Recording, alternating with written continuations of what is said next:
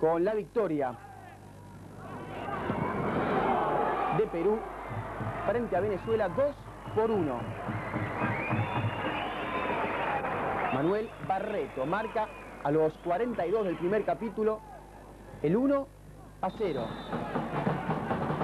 Frank Presilla a los 35 del segundo empata para los venezolanos.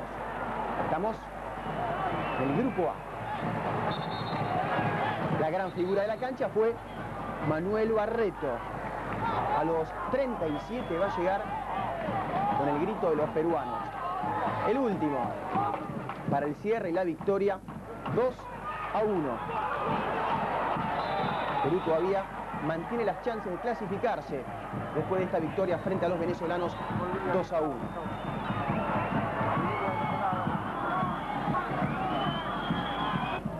La discusión en esta jugada, lo que fue el gol peruano por parte de los venezolanos, el cabezazo, la pelota que con algunas dudas traspasa la línea de gol.